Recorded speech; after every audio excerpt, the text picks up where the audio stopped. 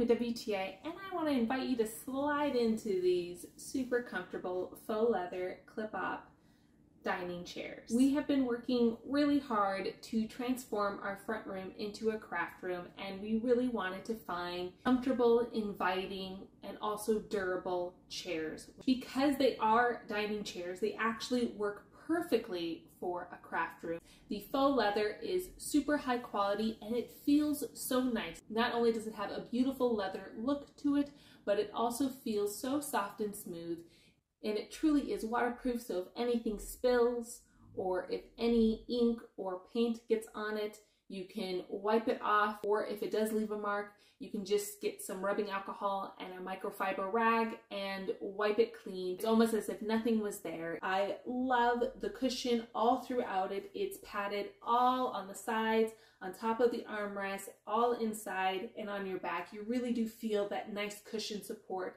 it was so easy to put together. It came with all the bolts that you needed. I think these chairs are so nice because we use our craft room as a place for our family to come and relax and to make beautiful things. So it's nice to have seating that allows you to be comfortable at the same time. I absolutely love these. They were a perfect finishing touch to our craft room and has really made doing all the things that we love doing possible. And that's my point of view.